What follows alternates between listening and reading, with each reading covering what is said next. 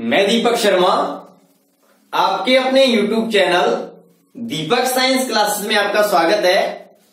बच्चों, इससे पहले वाली क्लास में हमने डोल्टन के परमाणु सिद्धांत के बारे में बात की थी कि डोल्टन का परमाणु सिद्धांत क्या था। डोल्टन ने परमाणु के बारे में क्या बातें बताई? वो सभी बातें, बच्चों, मैंने इससे पहले वाली क्लास के अंदर उसमें डिटेल से चर्चा की थी। बच्चों, आज हम, हमारी इस क्लास में पहले तो हम बात करेंगे कि डोल्टन के परमाणु सिद्धांत के क्या तो गुण थे और बच्चों, क्या कमियाँ थी, क्या दोष थे। ठीक है? उसके बाद में बच्चों, हम बात करेंगे परमाणु के अपरमाणविक कणों के बारे में कि परमाणु के जो अपार सब एटॉमिक पार्टिकल होते हैं, वो कितने होते हैं कौन कौन से होते हैं, किसने उनकी खोज की है, उनके बारे में हम बिल्कुल बेसिकली जानकारी प्राप्त करेंगे। ठीक है बच्चों? तो पहले तो आप सब क्लास को शेयर की कर दीजिए। अगर आप चैनल पर पहली बार आए हो तो सब्सक्राइब ज़रूर कर ले। बेल आइकन को दबाना बिल्कुल ना भूले, ताकि मैं जैसे ही क्लास आए तो आपको तुरंत नोटिफिकेशन मिल जाए। ठीक है बच्चों? और नोट्स मेरे साथ साथ आप यहाँ से उतारते रहे, ठीक है? मैं एक एक चीज़ को यहाँ नोट डाउन करूँगा और उसको आपका स्क्रीनशॉट लेने का आपको टाइम भी दूँगा, ठीक है बच्चों? तो पहले हम बात करते हैं डोल्टर के परमाणु सिद्धांत के दोष।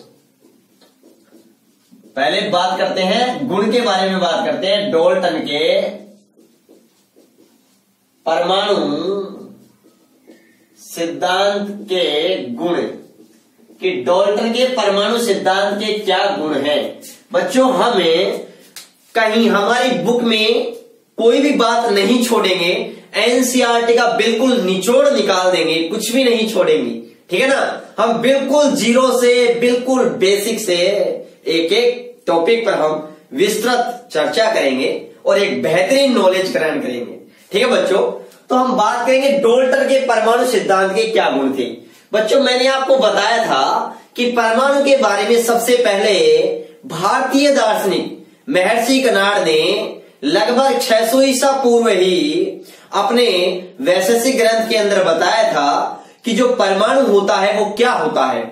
महर्षि कनाड ने बताया कि यदि हम द्रव्य का मतलब पदार्थ का लगातार विभाजन करते जाएँ, लगातार उसे छोटे छोटे टुकड़ों में तोड़ते जाएँ, तो अंत में हमें एक ऐसा सूक्ष्मतम कण प्राप्त होगा जिसे हम आगे और विभाजित नहीं कर सकते। और बच्चों, महर्षि कनाड ने उस सूक्ष्मतम अविभाज्य कण को ही क्या कहा था? परमाणु कहा था। क्या कहा था? परमाणु कहा था। उसके बाद में एक और भारतीय दार्शनिक आए जिनका नाम था पकुदा कात्यायन। उन्होंने बताया कि ये परमाणु होते हैं, वो स्वतंत्र अवस्था में नहीं होते। ये संयुक्त अवस्था में होते हैं, इसलिए जो द्रव्य होता है, वो भिन्न भिन्न रूपों में पाया जाता है। और बच्चों, जो बात महर्षि कनाड ने बताई थी, वही बात है, कुछ वर्षों, महर्षि कनाड के कुछ वर्षों बाद, लगभग ढाई सौ वर्ष बाद, दो गिरक दार्शनिक और थे, लियूसिपस और डेमोक्रेटस। उन्होंने भी वही बातें बताई, जो किसने बताई थी, भारतीय दार्शनिक महर्षि कनाड ने बताई थी। ठीक है? उसके बाद में काफ़ी लंबे समय गुजर जाने के बाद में, सन 1808 में जॉन डाल्टन ने, जो स्कूल के अंदर, ब्रिटिश स्कूल के अंदर एक अध्यापक थे, उन्होंने बच्चों एक मॉडल दिया परमाणु के बारे में, बिल्कुल तथ्यों के आधार पर, जिसे जॉन डाल्टन का परमाणु मॉडल कहा जाता है। और बच्चों, वो मॉडल किस नियमों पर आधारित था? उसके क्या तथ्य थे? उन सभी तथ्यों के बारे में इससे पहले वाली क्लास में हमने बातें की है। अगर आपने वो नहीं दे रखा नहीं देखी है तो पहले आप उस क्लास को देखे। नीचे डिस्क्रिप्शन में लिंक दे रखा है। ठीक है ना? वहाँ जाइए वहाँ से आप क्लास को देख सकते हैं। ठीक है ना? तो बच्चों जोन डाल्टन ने क्या बताया? जोन डाल्टन ने वही बात बताई थी कि जो परमाणु होता है, वो अविभाज्य कण होता है। क्या होता है? अविभाज्य कण होता है और बच्चों, आज हम चर्चा भी करेंगे कि क्या वर्तमान में परमाणु एक अविभाज्य कण है या नहीं। उसके बारे में भी आज हम हमारी इस क्लास में बात करेंगे। तो देखो बच्चों, जॉन डाल्टन ने जो अपना जो परमाणु सिद्धांत दिया था, बच्चों, वो परमाणु सिद्धांत, उसके क्या गुण है? उसका बच्चों, पहला गुण है, जॉन डाल्टन ने अपने परमाणु सिद्धांत की सहायता से द्रेमान संरक्षण नियम, जो द्रव्य का द्रेमान संरक्षण नियम था, या फिर मैं कहूँ, द्रव्य का अविनाशिता का नियम था। बच्चों द्रव्यमान संरक्षण नियम क्या था कि द्रव्य को न तो हमें विनाश कर सकते हैं, न ही हम उसका सर्जन कर सकते हैं। ठीक है ना? यह नियम कौन सा नियम है? द्रव्यमान संरक्षण का नियम है। और बच्चों, इसकी सफलता पूर्वक व्याख्या किसने कर दी? जॉन डाल्टन ने अपने परमाणु सिद्धांत से कर दी। जो मैंने इससे पहले वाली क्लास में आपको डिटेल से बताया था, ठीक है ना? तो ध्यान से समझिए, पहला गुण क्या है? पहला गुण है बच्चों, जॉन डाल्टन के परमाणु मॉडल का पहला गुण यह है कि इस मॉडल की सहायता से द्रव्य की अविनश्यता के नियम की सफलता पूर्वक व्याख्या की जा सकती है। द्रव्य के द्रव्य के अविनाशिता द्रव्य के अविनाशिता के नियम की,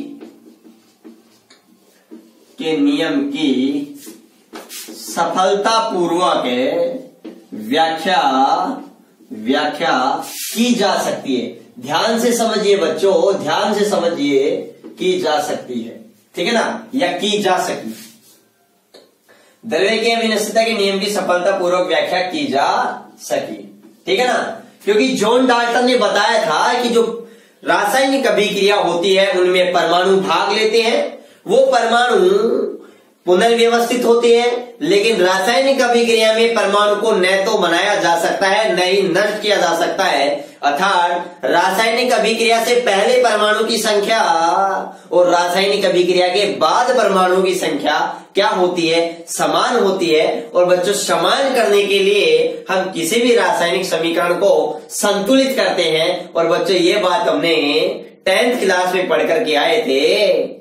कि रासायनिक अभिक्रिया को हम संतुलित क्यों करते हैं और किस विधि से करते हैं हिट एंड ट्रायल विधि से संतुलित करते हैं। ठीक है ना? ये बात ध्यान रखना। तो एक तो द्रव्य के अविनाशिता के नियम की सफलता पूर्वक व्याख्या की जा सके। दूसरी बात दूसरी बात बच्चों, जोन डाल्टन का जो परमाणु सिद्धांत था वह उन नियमों के बारे में भी बताता है, जो स्थिर संगठन के नियम थे और जो गुणित अनुपात के नियम थे, उनकी भी जॉन डाल्टन का परमाणु मॉडल है, वो सफलता पूर्वक क्या कर देता है, व्याख्या कर देता है। तो दूसरा पॉइंट हमारे पास में दूसरा गुण आता है। स्थिर संगठन के नियम या स्थिर अनुपात के नियम, मैंने इससे पहले वाली क्लास में बिल्कुल डिटेल से बताया था इनके बारे में। स्थिर संगठन के नियम तथा गुणित गुणित अनुपात के नियम नियम की भी की भी सफलता सफलता पूर्वक व्याख्या की जा सकती है या की जा सकी है। तो बच्चों, ये तो जॉन डाल्टन के परमाणु, जो मॉडल था, परमाणु सिद्धांत था सॉरी उसका क्या गुण है? उसके बाद में बच्चों, अगर मैं दोष के बारे में बात करूँ, किसके बारे में बात करूँ? डॉल्टन के परमाणु सिद्धांत के दोष तो बच्चों दोष क्या थे? दोष तो बहुत थे, क्योंकि उस टाइम में आपको पता है, परमाणु क्या था? अविभाज्य था। और बच्चों, मैं बता दूँ, वर्तमान में परमाणु क्या है? विभाज्य है। विभाज्य कैसे है? वो मैं आपको क्लियर करूँगा अभी। आप दो मिनट रुकिए। ठीक है? अब ध्यान से समझिए। दोष क्या था? जॉन डाल्टन उस समय ये भी नहीं समझा सके थे कि एक ही तत्व के परमाणुओं का द्रव्यमान होता है, वो अलग अलग क्यों होता है? ये तो बता दिया द्रव्यमान संरक्षण नियम की तो जॉन डाल्टन ने व्याख्या कर दी लेकिन जॉन डाल्टन ये बता, ये बात नहीं बता पाए इस बात को नहीं समझा पाए कि एक ही तत्व के परमाणुओं का द्रव्यमान होता है वो अलग अलग क्यों होता है? तो ये बात नहीं समझा सके। क्या दोस्त ये बात नहीं समझा सके कि एक ही तत्व के एक ही तत्व के परमाणुओं परमाणुओं का द्रव्यमान, परमाणुओं का द्रव्यमान अलग अलग अलग अलग क्यों होता है? क्यों होता है? ये बात नहीं समझा पाए। ये बात नहीं समझा पाए। नहीं समझा पाए। कैसे बच्चों, देखिए, गौर करके एग्ज़ाम्पल जैसे मैं बात करूँ H one one H one two H one three ध्यान से देखिएगा बच्चों H one one H one two और एच वन थ्री बच्चों हाइड्रोजन है ना हाइड्रोजन हाइड्रोजन के तीन समस्थानिक होते हैं। ध्यान से समझिएगा बच्चों हाइड्रोजन के कितने समस्थानिक होते हैं? तीन। और बच्चों, एक समस्थानिक होता है हमारे पास में प्रोटियम क्या है बच्चों, इसका नाम प्रोटियम है। और बच्चों एच वन टू का नाम क्या है बच्चों? ड्यूट्रियम है। क्या है? ड्यूट्रियम है। और एच वन थ्री का बच्चों, नाम क्या है? ट्राइट्रियम है। क्या है? ट्राइट्रियम है। तो हाइड्रोजन के तीन ही समस्थानिक होते हैं केवल।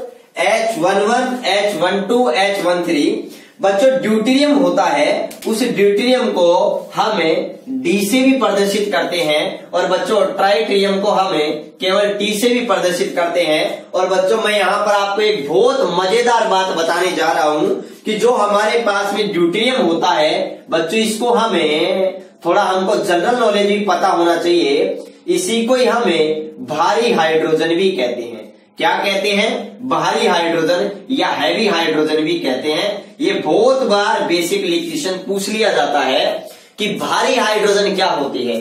जो ड्यूटियम होता है बच्चों, उसे ही हम भारी हाइड्रोजन कहते हैं। ठीक है? ये बात याद रखना बच्चों। और बच्चों, आपको पता है, सभी तो हम भारी जल डी साधारण जल क्या है? एच और भारी जल क्या होता है बच्चों? डी बहुत मज़ेदार बात है। इसलिए हम इसको भारी जल कहते हैं, क्योंकि इसके अंदर जो हाइड्रोजन है, वह कौन सी है बच्चों? कौन सी है? भारी हैवी हाइड्रोजन है। और बच्चों, इसका जो द्रेमान होता है, वो कितना होता है बच्चों? 18 होता है। और जबकि इसका क्या होता है? 20 क्योंकि यहाँ जो हाइड्रोजन काम में ली गई है, वो प्रोटियम की काम में ली गई है एच वन वन और बच्चों, यहाँ जो हाइड्रोजन है, वो एच वन टू काम में ली गई है। इसलिए दो है। तो बच्चों, दो है तो ऐसे दो काम में लिए गए। दो दुनी क्या हो गई? चार। और ऑक्सीजन ऑक्सीजन का परमाणु क्रमांक आठ है तो द्रेमान संख्या कितनी हो जाएगी? दो गुनी आठ गुनी सोलह तो द्रेमान संख्या ऑक्सीजन की सोलह होती है तो चार और सोलह बच्चों कितनी हो गई? बीस। और जबकि यहाँ पर केवल ऐसे दो है तो एक रे कितना हो जाएगा? दो। और दो प्लस सोलह कितने हो जाएँगे? अट्ठारह हो जाएँगे। ये बात ध्यान रखना बच्चों, ठीक है ना? आपसे ये भी ध्यान रखना थोड़ा। कि जो भारी जल होता है उसका अनुभार 20 होता है और साधारण जल होता है उसका अनुभार 18 होता है। ठीक है? और बच्चों, यहाँ पर हाइड्रोजन का प्रोटियम है, वो एकमात्र समस्थानिक है, या फिर मैं कहूँ हाइड्रोजन एकमात्र तत्व है जिसके नाभिक में न्यूट्रॉन की संख्या नहीं है। न्यूट्रॉन अनुपस्थित है, और बच्चों, हाइड्रोजन के बारे में और फैक्ट्स में अगर मैं बात करूँ तो बच्चों, हाइड्रोजन की खोज हेनरी केवेंडिश नामक वैज्ञानिक ने की थी। ठीक है बच्चों? और हाइड्रोजन को हम भविष्य का ईंधन भी कहते हैं। क्या कहते हैं बच्चों? भविष्य का ईंधन। किसे कहते हैं? हाइड्रोजन को कहते हैं। तो चलिए हम हमारे टॉपिक पर आते हैं। ठीक है? ये बेसिक बातें आप टॉप पेज पर लिख लिया करो। बहुत काम की होती हैं। हमारी केमिस्ट्री को स्ट्रॉन्ग बनाना है। तो ये छोटी छोटी बातें भी हमको अच्छे से आनी चाहिए बच्चों। ठीक है? तो जॉन डाल्टन ये नहीं बता सके थे कि एक ही तत्व के परमाणु का द्रव्यमान अलग अलग क्यों होता है। ये बात नहीं समझा सकते थे। क्योंकि बच्चों, ये समस्थानिक होते हैं। ठीक है? ना ये बात ध्यान से समझना। ठीक है? बाद में सोडी नामक वैज्ञानिक ने इन समस्थानिकों की खोज की थी और बताया था कि समस्थानिक होते हैं। मतलब समस्थानिकों के बारे में नहीं समझा सके। सीधी सी बात हम ये भी कह सकते हैं।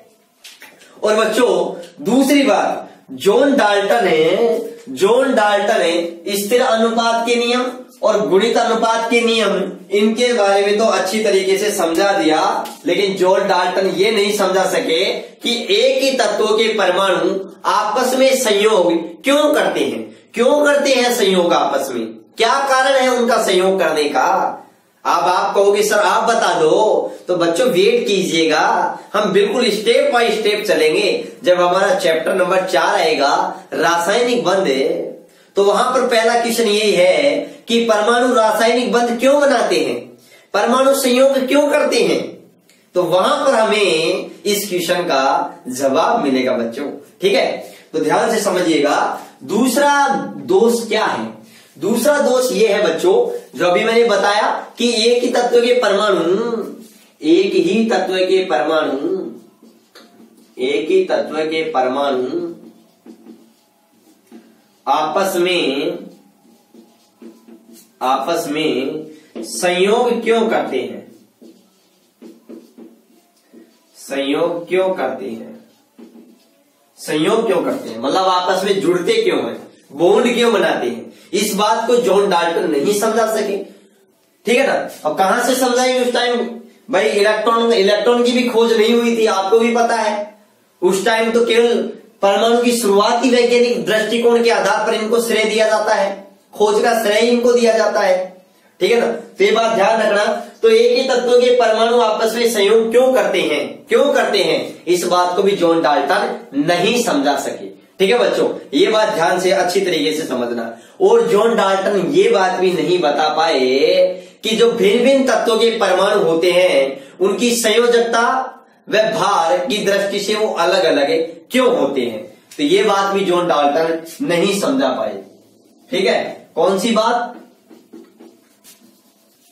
कौन सी बात बच्चों? कि भिन्न भिन्न तत्वों के जो परमाणु होते हैं, उनकी संयोजकता अलग अलग क्यों होती है?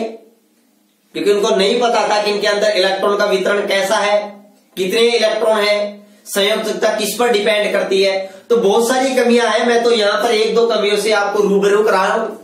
ठीक है ना? बहुत सारी कमियाँ हैं। ठीक है ना? तो याद रखना बच्चों, ये ये बात भी नहीं बता पाए थे कि भिन्न भिन्न तत्वों के भिन्न भिन्न तत्वों के परमाणु संयोजकता एवं भार की दृष्टि से अलग अलग अलग अलग क्यों होते हैं?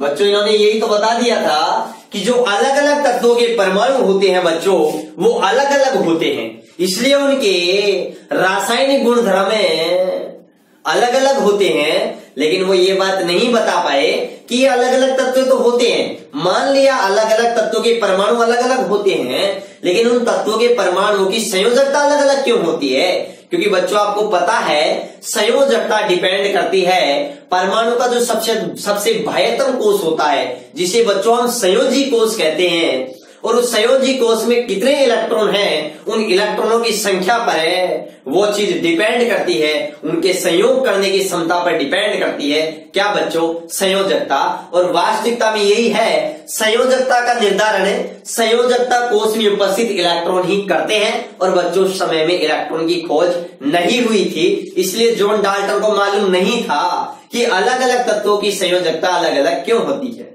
उनके भार अलग अलग क्यों होते हैं? तो कमियाँ तो बहुत सारी हैं। समझ गए ना? मैं तो आपको केवल रूबरू कराया हूँ एक दो कमियों से। ठीक है बच्चों? तो यहाँ तक आपके अच्छी तरीके से क्लियर होना चाहिए। चलो आप इसका स्क्रीनशॉट लीजिएगा पहले। ठीक है?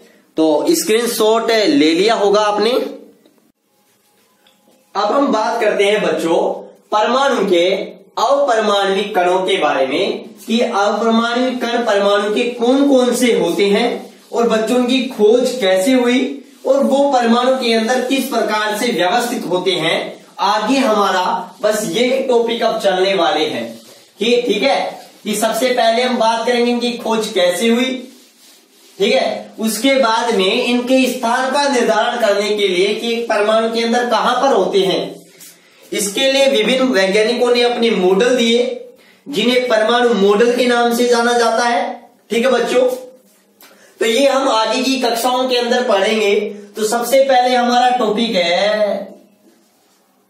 अपरमाणविक अव, परमाणविक कण।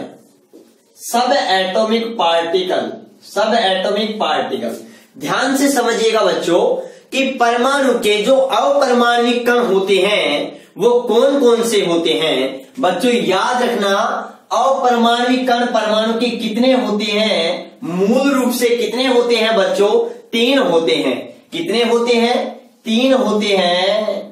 और वो बच्चों कौन कौन से होते हैं तीन? एक आता है हमारे पास में, इलेक्ट्रॉन।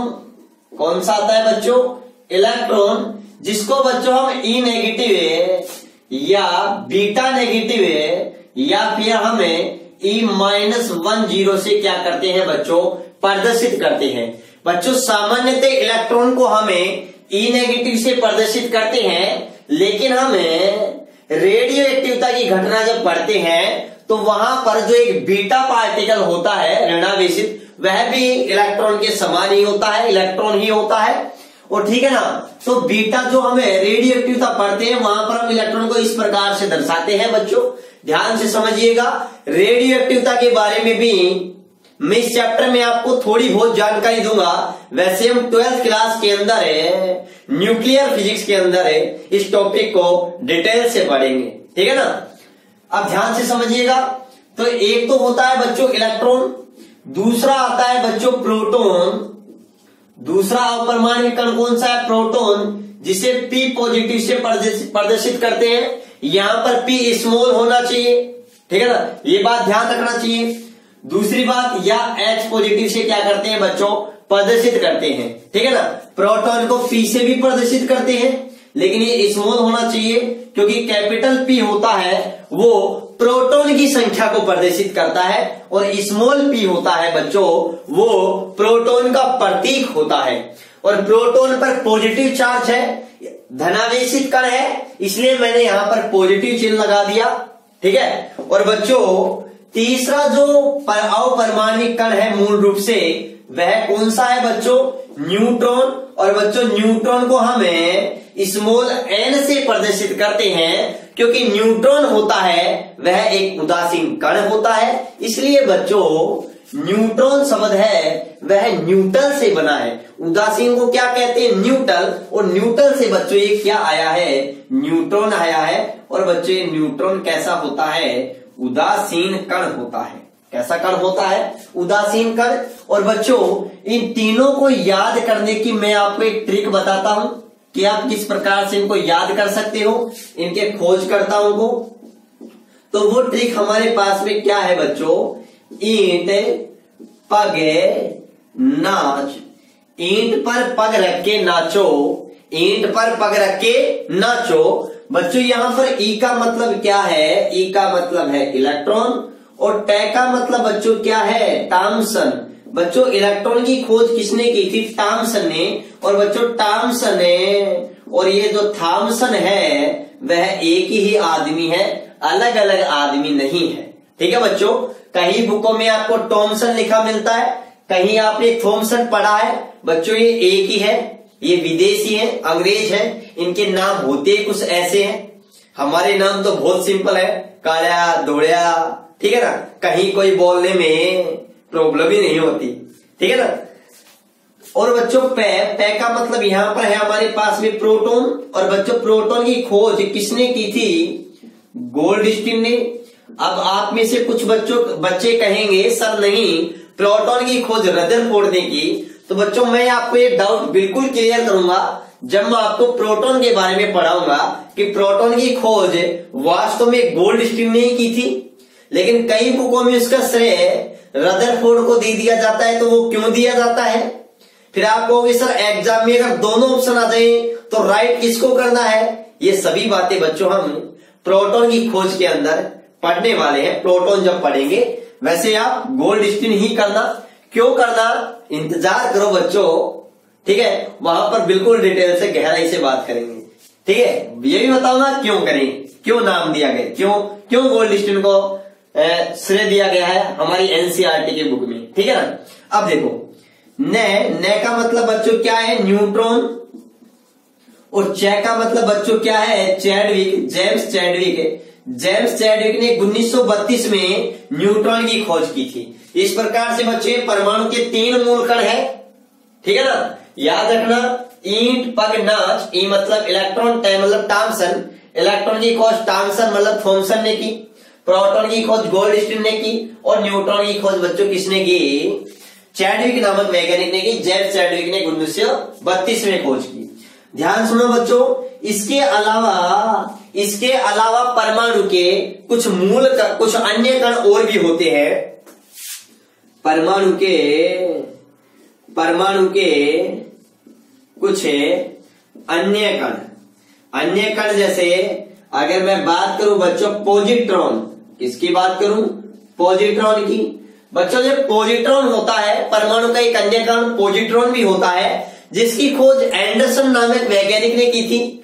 किसने की थी बच्चों, खोज? एंडरसन नामक वैज्ञानिक ने की थी। और बच्चों, इसके बारे में सबसे इंपोर्टेंट बात यह है कि ये इलेक्ट्रॉन का इलेक्ट्रॉन का क्या है बच्चों? एंटी कण है। क्या है? इलेक्ट्रॉन का एंटी कण है। इनके बारे में भी मैं आपको डिटेल से गहराई से बात करूँगा। क्या क्या जो चीज़ें हैं वो इम्पोर्टेंट है।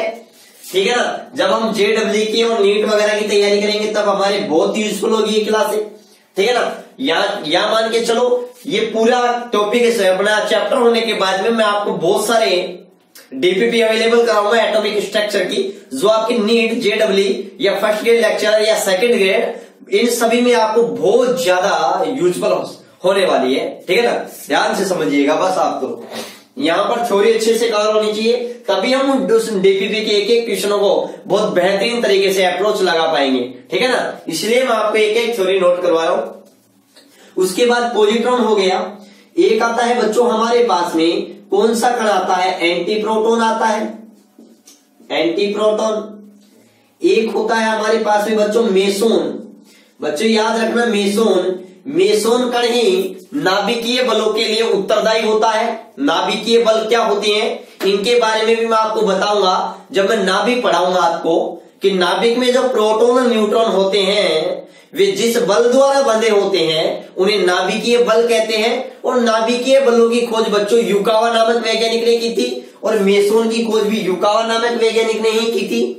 और बच्चों, नाभिकीय बल जो उत्पन्न होते हैं, नाभिक के अंदर है वो मेसोन कणों के विनिमय के कारण ही उत्पन्न होते हैं। मेसोन कण के आदान प्रदान के कारण ही नाभिकीय बल उत्पन्न होते हैं। ये सिद्धांत था, युकावा मैसो युकावा का मैसोन सिद्धांत था। ठीक है ना? जिसे युकावा मैसोन सिद्धांत भी कहते हैं। उसके बाद में चौथा हमारे पास में आता है बच्चों neutrino and anti neutrino anti neutrino ठीक है बच्चों इन कणों के बारे में पढ़ेंगे हम कि न्यूट्रिनो और एंटी न्यूट्रिनो क्या होता है इनका विराम द्रेम, इनका द्रव्यमान कितना होता है इन पर आवेश कितना होता है इनकी खोज किसने की? इनके अलावा परमाणु के तीन अवपरमाणविक मुख्य रूप से तीन मूल कण है इनके अलावा और भी है इन चार के अलावा भी और भी है। लेकिन हम स्पेसिकल तीन के बारे में बहुत ज़्यादा गहराई से बात करेंगे। उसके अलावा इन कुछ जो मैन मैन है, उनके बारे में भी हम बात करेंगे, जिनसे हमारे कॉम्पिटेटिव एग्ज़ाम में क्वेश्चन पूछे जाते हैं बच्चों। ठीक है? तो पहले तो आप है, और ध्यान से समझिएगा। अब देखो ये इलेक्ट्रॉन प्रोटॉन न्यूट्रॉन है ना? वो परमाणु के अंदर कहा रहते हैं? ये बातें थोड़ी आप ध्यान से समझना। पहले आप इसका स्क्रीनशॉट ले लीजिए बच्चों। चलो तो स्क्रीनशॉट आपने ले लिया होगा। अब बात करते हैं। ठीक है? पहले तो बेसिक जानकारी करते हैं कि जो अपरमाणिक कण है ना बच्चों, ये कहाँ पर किस प्रकार से व्यवस्थित होते हैं। ध्यान से समझिएगा। एक एक बातों को बहुत अच्छे से समझिएगा बच्चों। देखो, सबसे पहले तो मैं बच्चों का आपको बताऊँ, जो हमारे पास में जो परमाणु होता है, क्या होता है बच्चों? परमाणु होता है। वह परमाणु बच्चों मुख्य रूप से दो भागों में बटा होता है। कितने भागों में बटा होता है? दो भागों में। आप कहोगे, सर कौन कौन से? एक भाग होता है, बच्चों, आंतरिक भाग। कौन सा भाग होता है? आंतरिक भाग होता है, जिसे हम केंद्रीय भाग भी कहते हैं। कौन सा भाग कहते हैं? केंद्रीय भाग या सेंटर भाग भी कहते हैं। दूसरा बच्चों होता है, बाह्य भाग। कौन सा भाग होता है? बाह्य भाग होता है। बच्चों, केंद्रीय भाग होता है, उसे हम क्या कहते हैं? नाभिक कहते हैं। क्या कहते हैं? नाभिक कहते हैं। और जो बाह्य भाग होता है, उसके अंदर कौन होते हैं? इलेक्ट्रॉन होते हैं। नाभिक में कौन होते हैं बच्चों? प्रोटॉन और न्यूट्रॉन होते हैं। तो देखो, अभी मैंने आपको बताया कि जो हमारे पास में परमाणु के तीन अवपरमाणविक कण है, तीन मूल कण है इलेक्ट्रॉन प्रोटॉन न्यूट्रॉन वो बच्चों कहा होते हैं? परमाणु का जो केंद्रीय भाग होता है, उसे नाभिक कहते हैं। बच्चों उसमें कौन कौन से कण होते हैं? प्रोटॉन और न्यूट्रॉन। और बच्चों, प्रोटॉन और न्यूट्रॉन को सम्मिलित रूप से भी क्या कहा जाता है? क्या कहा जाता है बच्चों? न्यूक्लियोन कहा जाता है। क्या कहा जाता है? न्यूक्लियोन कहा जाता है। ये बात भी आप अच्छे से ध्यान रखना। और बच्चों, नाभिक के चारों ओर जो बाह्यतम भाग उसके अंदर इलेक्ट्रॉन क्या करते हैं? चक्कर लगाते हैं। क्या करते हैं? चक्कर लगाते हैं। अब ध्यान से समझिएगा। एक बार हम फिर से वहीं पर आते हैं। कहा? जॉन डोल्टन के परमाणु सिद्धांत पर जॉन डोल्टन ने बताया था कि जो परमाणु होता है, वो अविभाज्य कण होता है। परमाणु को हम विभाजित नहीं कर सकते। परमाणु को हम विभाजित नहीं कर सकते। लेकिन बच्चों जे जे थॉमसन ने सन अठारह सौ में इलेक्ट्रॉन की खोज करके ये साबित कर दिया कि जो परमाणु होता है, वो अविभाज्य नहीं है। अब परमाणु क्या हो गया? विभाजित हो गया। और सबसे पहले हमें परमाणु के किस परमाणु के किस अपरमाणिक कण की खोज हुई थी? पहले इलेक्ट्रॉन की खोज हुई थी, बच्चों। ये बात आप अच्छे से ध्यान रखना। इलेक्ट्रॉन के बारे में सबसे पहले पता चला था कि ये परमाणु के अंदर विद्यमान होता है। ठीक है ना? तो ध्यान से समझिएगा, पहले मैं आपको इलेक्ट्रॉन की, अब हम इलेक्ट्रॉन के बारे में पढ़े, उससे पहले मैं आपको बेसिक बातें बता देता हूँ बच्चों, जिससे हम इलेक्ट्रॉन और आगे के जो भी हमारी क्लासे है, उनको हम बहुत ही बेहतरीन तरीके से, अच्छे से हम समझ सके और आपके अच्छे से समझ में आ सके। ठीक है ना? इसके लिए मैं आपको कुछ बेसिक बातें बता रहा हूँ। ये बच्चों आप ध्यान से समझना। देखो, बच्चों, परमाणु क्या होता है? ध्यान से समझिएगा कि परमाणु क्या होता है, परमाणु कैसा होता है, इसके बारे में आप थोड़ा सा ध्यान से समझिएगा बच्चों। देखो, बच्चों, जो परमाणु होता है ना, वो बिल्कुल परमाणु क्या होता है? गोला होता है। एक गोला होता है। परमाणु का आकार कैसा होता है? बच्चों, गोलाकार होता है। और बच्चों, परमाणु के बीच के अंदर, जो सेंटर भाग होता है, उसको बच्चों हम क्या कहते हैं? नाभिक कहते हैं। क्या कहते हैं? नाभिक कहते हैं। और बच्चों, इस नाभिक में कौन कौन होते हैं? प्रोटोन और क्या होते हैं? न्यूट्रॉन होते हैं। और बच्चों इलेक्ट्रॉन इस नाभिक के चारों ओर वर्ताकार कक्षा में क्या करते हैं? गति करते हैं, चक्कर लगाते हैं। अब ध्यान से समझिएगा, सबसे पहले मैं बात करूँ बच्चों, किसके बारे में? परमाणु के बारे में। किसके बारे में बात करूँ? परमाणु के बारे में। ध्यान से समझिएगा, परमाणु के बारे में। परमाणु के बारे में। सबसे पहले बच्चों, अगर मैं बात करूँ, परमाणु की जो खोज है, परमाणु की खोज का श्रेय किसे दिया जाता है? बच्चों, परमाणु के बारे में वैसे तो सबसे पहले भारतीय दार्शनिक महर्षि कनाड ने बताया था, लेकिन बच्चों, महर्षि कनाड का ने जो बताया था, वो कोई सैद्धांतिक या फिर मैं कहूँ, कोई ऑथेंटिक प्रूफ नहीं था उनके पीछे। ठीक है ना? कोई वैज्ञानिक सिद्धांत, वैज्ञानिक आधार नहीं था उनके पीछे, इसलिए वो केवल विचार ही थे। लेकिन सबसे पहले वैज्ञानिक दृष्टिकोण के आधार पर जॉन डाल्टन ने परमाणु के बारे में बताया था, इसलिए बच्चों, जो परमाणु की खोज का श्रेय है, वो किसे दिया जाता है? जॉन डाल्टन को दिया जाता है, वैसे हमारे भारतीय दार्शनिक महर्षि कनाड ने ईसा के जन्म के 600 वर्ष पहले ही परमाणु के बारे में बता दिया था बच्चों। ठीक है? लेकिन खोज का श्रेय किसे दिया जाता है? तो किसे दिया जाता है बच्चों? जॉन डाल्टन को। तो परमाणु की खोज किसने की बच्चों? जॉन डाल्टन ने की। उसके बाद में बच्चों, अगर मैं बात करूँ, परमाणु का जो त्रिज्या होती है, परमाणु की क्या होती है बच्चों? त्रिज्या त्रिज्या कहूँ या मैं बच्चों आकार कहूँ? तो बच्चों, परमाणु की त्रिज्या या आकार का आकार का निर्धारण बच्चों त्रिज्या से ही होता है। ठीक है? तो परमाणु की त्रिज्या कितनी होती है? तो बच्चों, याद रखना, परमाणु की त्रिज्या कितनी होती है? दस की पावर माइनस दस मीटर। कितनी होती है? दस की पावर माइनस दस मीटर होती है। लेकिन बच्चों, अगर आपको कहीं कॉम्पिटेटिव एग्ज़ाम में दस की पावर माइनस दस मीटर ऑप्शन में नहीं दे तो तो बच्चों, आपको पता है, आपको पता है एक मीटर में कितने सेंटीमीटर होते हैं? सौ सेंटीमीटर होते हैं। सौ सेंटीमीटर का मतलब बच्चों, क्या है? दस की पावर दो सेंटीमीटर तो बच्चों, अगर इसको मैं मीटर को सेंटीमीटर में चेंज करूँगा तो मैं इसको सौ से मल्टीप्लाई करूँगा। मतलब मैं कह सकता हूँ कि दस की पावर प्लस की दो से मल्टीप्लाई करूँगा। अब बच्चों, आपको पता है, जब आधार समान होती है तो गुणा में घाते जुड़ती हैं। तो माइनस की दस प्लस की दो तो बच्चों, माइनस के आठ शेष रह गए। क्योंकि आधार क्या है? समान है। तो बच्चों, हमारे पास में क्या जाएगा? दस की पावर माइनस आठ सेंटीमीटर। तो बच्चों, परमाणु का आकार अगर सेंटीमीटर में बोले तो हमारे पास कितना जाएगा? दस की पावर है, दस की पावर माइनस आठ सेंटीमीटर। और मीटर में बोले तो दस की पावर माइनस दस मीटर। अब बच्चों, ध्यान से समझना, जो दस की पावर, जो दस की पावर माइनस दस मीटर होता है, इसे बच्चों हम क्या कहते हैं? इसे बच्चों हम कहते हैं, एक एंगस्ट्रोम।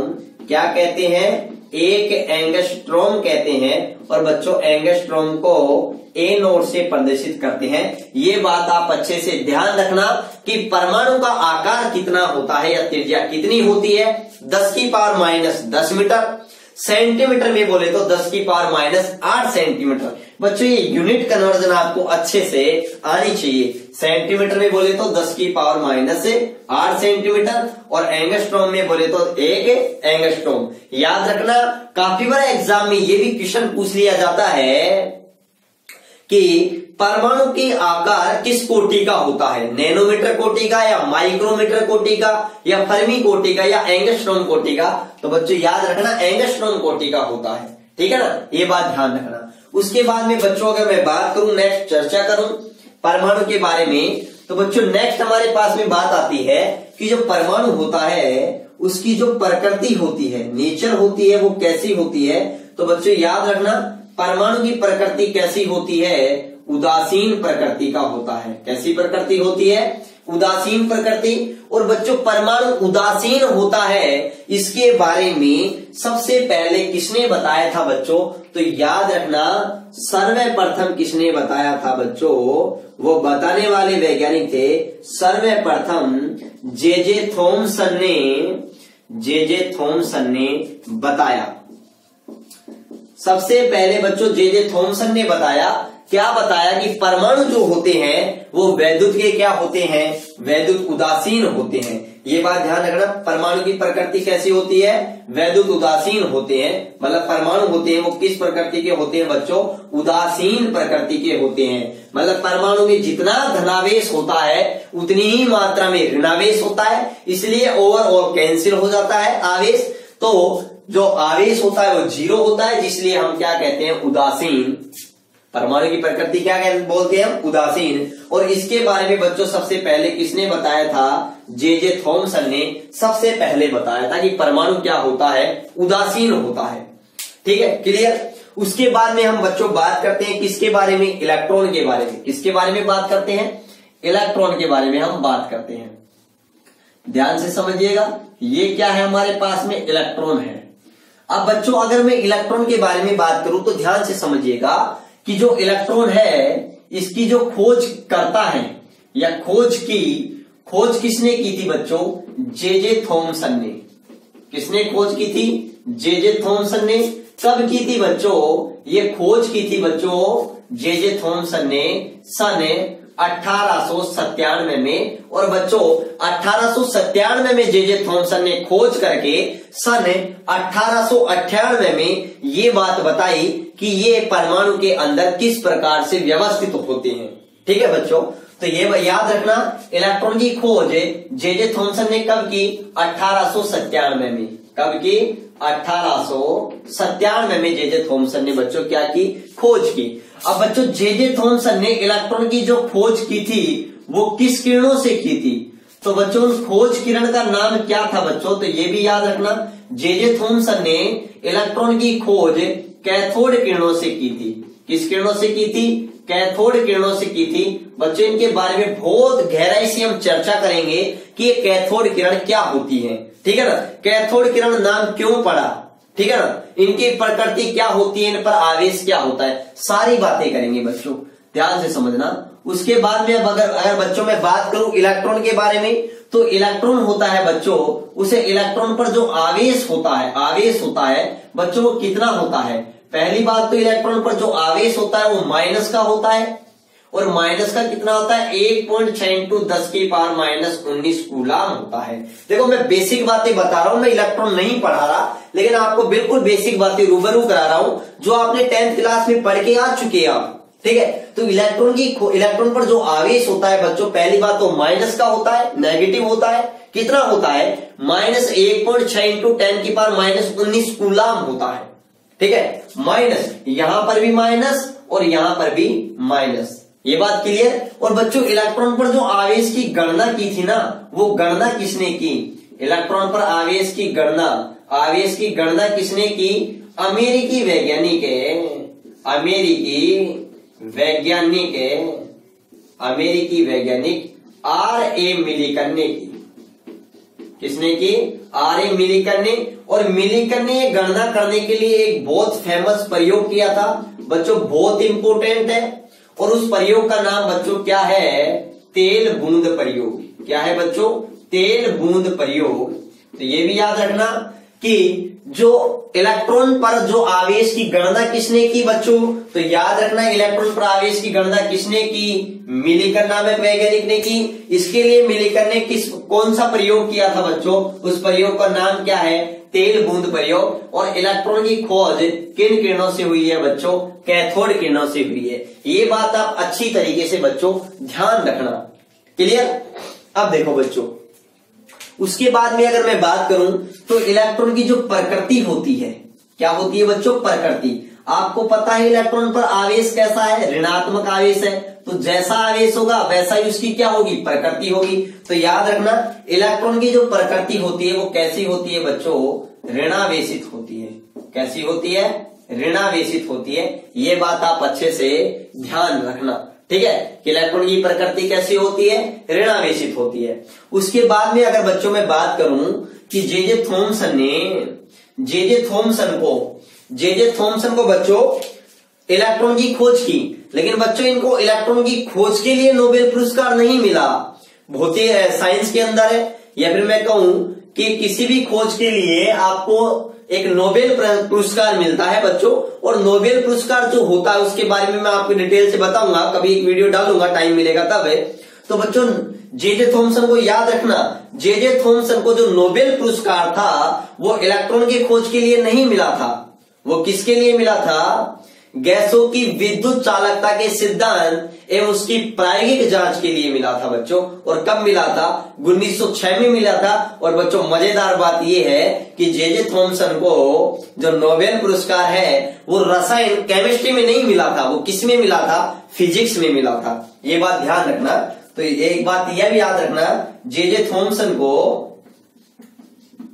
जे जे थॉमसन को सन 1906 में कौन से क्षेत्र में? भौतिकी के क्षेत्र में। भौतिकी के क्षेत्र में गैसों की चालकता के सिद्धांत एम एम एम, प्रायोगिक जाँच के लिए दिया गया। प्रायोगिक जाँच के लिए दिया गया। दिया गया।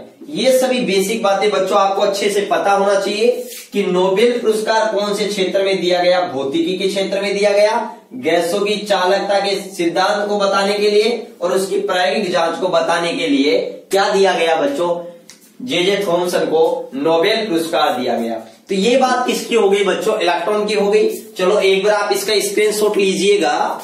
एक बार स्क्रीनशॉट लीजिएगा। ठीक है? स्क्रीनशॉट लीजिएगा आप इसका। हाँ ले लिया हुआ सबने। तो देखो, ये हमारी इलेक्ट्रॉन के बारे में बात होगी ये इलेक्ट्रॉन ठीक है? बेसिक बातें कर रहे हैं। इलेक्ट्रॉन के बारे में और गहराई से हम बात करेंगे। जब मैं इलेक्ट्रॉन पढ़ाऊँगा, इसके जस्ट बाद कि जो क्लास होगी, वो इलेक्ट्रॉन की होगी। अब ध्यान से सुनिएगा बच्चों। और अब देखो, परमाणु का जो सेंटर पार्ट होता है ना, वो क्या है? नाभिक है बच्चों। क्या है? नाभिक। देखो, ये जो केंद्रीय भाग इस केंद्रीय भाग को बच्चों हम क्या कहते हैं? इस केंद्रीय भाग को हम कहते हैं बच्चों नाभिक। क्या कहते हैं बच्चों? नाभिक कहते हैं। ध्यान से समझना। सबसे पहला क्वेश्चन ये आता है कि नाभिक की खोज किसने की? नाभिक की खोज। तो बच्चों, याद रखना, नाभिक की खोज का श्रेय किसे दिया, नाभिक की खोज किसने की?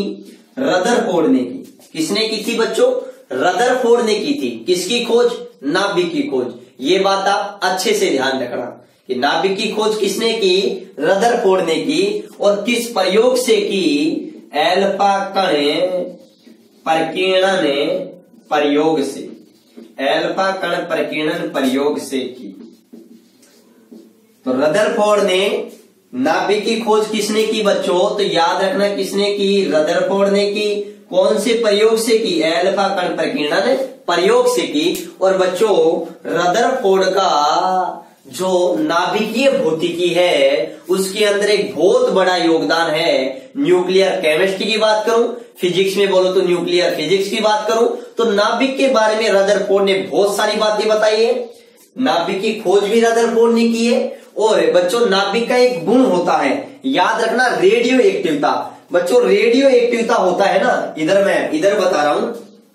ये भी याद रखना, जो रेडियो एक्टिवता है रेडियो एक्टिवता बच्चों रेडियो एक्टिवता की जो खोज है ना, खोज, वो खोज किसने की थी? हेनरी बेकुरल ने। किसने की है? हेनरी बेकुरल ने। और कब की है बच्चों? वो की है अठारह में। ठीक है? और बच्चों, ये रेडियो एक्टिवता किसका गुण होता है? किसका गुण होता है? नाभिक का गुण होता है। किसका गुण होता है? परमाणु का गुण नहीं होता है रेडियो एक्टिवता किसका गुण होता है? नाभिक का गुण होता है। ये बात ध्यान रखना। ठीक है? वैसे मैं बताऊँगा, ना रेडियो एक्टिव पदार्थ किसे कहते हैं, ठीक है ना? और गहराई से बात बात करेंगे आगे। अब ध्यान से समझिएगा। तो रदरफोर्ड ने नाभिकीय, भौतिकी की नाभिकीय, या फिर मैं कहूँ न्यूक्लियर केमिस्ट्री के अंदर बहुत सारा वर्क किया है। यहाँ तक कि रेडियो एक्टिव विघटन का नियम भी दिया है सोडी नामक वैज्ञानिक के साथ मिलकर, जो आपने सुना होगा रदर रदरफोर्ड सोडी का नियम। आप तो क्या सुनोगे अभी? ट्वेल्थ क्लास में पढ़ोगे इसके बारे में।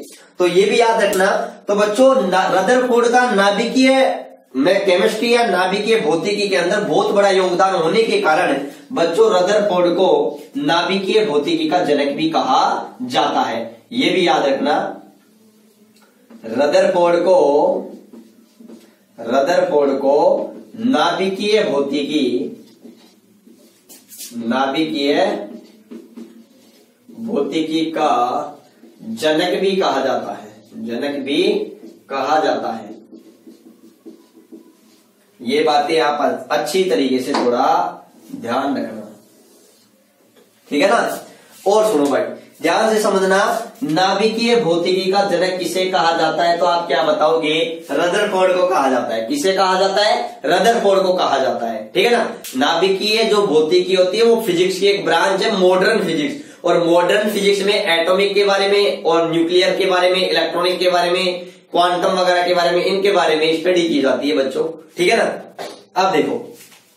उसके बाद में बच्चों, अगर मैं आकार के बारे में बात करूँ नाभिक के आकार या त्रिज्या के बारे में बात करूँ तो बच्चों, नाभिक की जो त्रिज्या होती है, वो दस की पावर माइनस पंद्रह मीटर होती है। सेंटीमीटर में बोले तो वही दस की पावर दो से गुणा कर देंगे तो क्या आ जाएगा? दस की पावर माइनस तेरह सेंटीमीटर। और बच्चों, आपको पता हो तो दस की पावर माइनस पंद्रह मीटर को क्या कहते हैं? एक फेमटोमीटर क्या कहते हैं? एक फेमटो मीटर कहते हैं। और बच्चों, इस फेमटोमीटर को ही शॉर्टकट में क्या बोला जाता है? एक फर्मी। क्या बोला जाता है? फर्मी। और फर्मी को शॉर्टकट में क्या बोला जाता है? एफ़ एम बच्चों, एक वैज्ञानिक थे Enrico Fermi. Enrico Fermi. जिन्होंने नाभिकीय भट्टी का आविष्कार किया था, उनके सम्मान में ये फर्मी रखा गया। ठीक है ना? तो याद रखना, आपसे पूछा जाए, नाभिक का आकार या त्रिज्या कितनी होती है? दस की पावर माइनस पंद्रह मीटर, या कहोगे आप, सर, फर्मी कोटि की होती है। ठीक है ना? ये बात क्लियर। उसके बाद में बच्चों, ध्यान रखना कि जो नाभिक होता है, उस नाभिक पर जो आवेश होता है, क्या होता है? आवेश। वो आवेश कैसा होता है बच्चों? पॉजिटिव होता है। क्योंकि आपको पता है, नाभिक में दो चीज़ें हैं, एक प्रोटॉन और एक न्यूट्रॉन न्यूट्रॉन क्या है? उदासीन कण है। प्रोटॉन क्या है? पॉजिटिव कण है। तो इस नाभिक पर जो आवेश होगा वो इस प्रोटोन के कारण ही होगा और बच्चों को कैसा आवेश होगा, वो धनावेश होगा। कैसा आवेश होगा? धनावेश होगा। ये बात ध्यान रखना। ठीक है? तो नाभिक पर आवेश कैसा होता है? धनावेश होता है। ये किसके कारण होता है बच्चों? ये आवेश होता है प्रोटोन के कारण। किसके कारण होता है? प्रोटॉन के कारण होता है। ये बात भी आप ध्यान रखना। उसके बाद में अगर बच्चों में बात करूँ और बेसिक बात है कि नाभिक का अवयव नाभिक के अवयव। नाभिक के कौन कौन से अवयव होते हैं? तो बच्चों, नाभिक दो चीज़ों से मिलकर बनाए यहाँ पर। एक प्रोटॉन प्लस एक न्यूट्रॉन। और बच्चों, प्रोटॉन न्यूट्रॉन को सम्मिलित रूप से हम क्या कहते हैं? न्यूक्लियोन कहते हैं। क्या कहते हैं? न्यूक्लियोन कहते हैं। ये बात आप अच्छी तरीके से ध्यान से समझिएगा कि नाभिक के अवयव कौन कौन से हैं? प्रोटॉन और न्यूट्रॉन। और बच्चों, प्रोटॉन और न्यूट्रॉन को हम सम्मिलित रूप से क्या कहते हैं? न्यूक्लियोन कहते हैं। क्या कहते हैं? न्यूक्लियन कहते हैं। तो ये बात क्लियर होनी चाहिए। परमाणु होता है वो उदासीन होता है, नाभिक होता है वो पॉजिटिव होता है, इलेक्ट्रॉन होता है वो नेगेटिव होता है, ऋण आवेशित होता है। ये बात ध्यान रखना। ठीक है ना? ये इतना ऋण आवेश होता है। और इस ऋणावेश का मापन मिलीकन ने किया था, तेल बूंद प्रयोग से किया था। ये बात भी बच्चों आप याद रखना। और बच्चों रदरफोर्ड को भी नोबेल पुरस्कार मिला था। कब? 1908 में मिला था, लेकिन ये किस क्षेत्र में मिला था? ये याद रखना बच्चों केमिस्ट्री के अंदर मिला था किसको? रदरफोर्ड को। ठीक है ना? वैसे भौतिकी में बहुत सारा कार्य किया है, किया इन्होंने। लेकिन इनको जो नोबेल पुरस्कार मिला है बच्चों, वो किसके लिए मिला है बच्चों? केमिस्ट्री के क्षेत्र में मिला है। ये बात आप ध्यान रखना, जबकि थॉमसन को भौतिकी के क्षेत्र में नोबेल पुरस्कार मिला है। बच्चों एल्फा कण प्रकीर्णन प्रयोग के बारे में भी हम आगे पढ़ेंगे। अब इलेक्ट्रॉन प्रोटॉन और न्यूट्रॉन अब आपने देख लिया कि ये कहाँ होते हैं, परमाणु के अंदर किस प्रकार से व्यवस्थित होते हैं। अब अब जब हम आगे पढ़ेंगे तो अब हमारे बहुत अच्छी तरीके से, अब हम वहीं से स्टार्ट करेंगे। कहा से? जहाँ सन 1808 से जॉन डॉल्टन का परमाणु मॉडल खत्म हो गया, उसके बाद हम आगे बढ़ेंगे कौन कौन सी घटना घटित हुई?